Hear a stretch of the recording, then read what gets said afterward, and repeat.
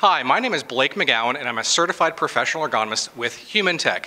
Today I'm in Albion, Michigan at Caster Concepts, and I'm joined by the head of engineering, Dr. Elmer Lee. Hello. Welcome to Caster Concepts. Thank you. Great to be here. Now, one of the things I see a lot of times when I go through organizations is people making bad decisions or investing poorly in casters. So, what would be the maybe the top three things or top three mistakes that companies make when they invest?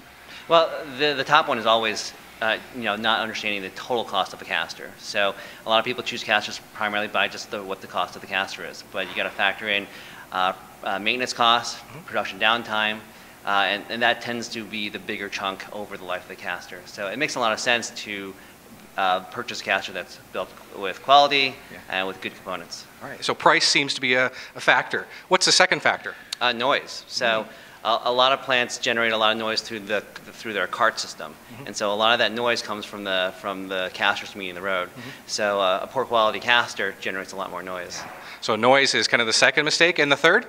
Uh, er- ergonomics. So doing a, a, good understanding of what uh, the ergonomics requirements of your carts are, and matching them with the proper caster. So choosing the right caster gives you the best push force. Wonderful. So in order to avoid kind of the top three mistakes is make sure to consider price, noise, as well as push forces. Thanks for having us. Great. Good to be here. Take, take care. Have a great day.